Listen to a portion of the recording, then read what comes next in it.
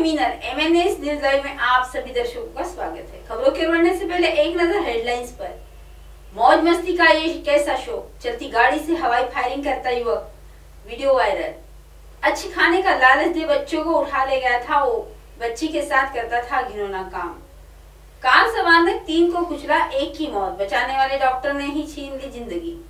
अब खबरें विस्तार से। नई दिल्ली, गाजियाबाद। फायरिंग करते हुए एक युवक का लाइव वीडियो वायरल हो रहा है। वीडियो में युवक शॉप के लिए चलती गाड़ी से फायर करता दिखाई दे रहा है। वीडियो में और क्या कुछ दिख रहा है और यह कितना बड़ा खतरा था? गाजियाबाद कविनगर थाना क्षेत्र के गोविंदपुरम से एक वीडियो वायरल हुआ है।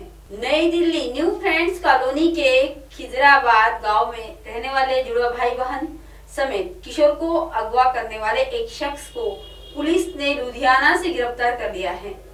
पुलिस के मुताबिक आरोपी शख्स साइको किस्म का है। नई दिल्ली देश बंधु गुप्ता रोड इलाके में मंगलवार रात एक तेज रफ्तार कार ने सड़क पार कर रही तीन महिलाओं को कुचल दिया।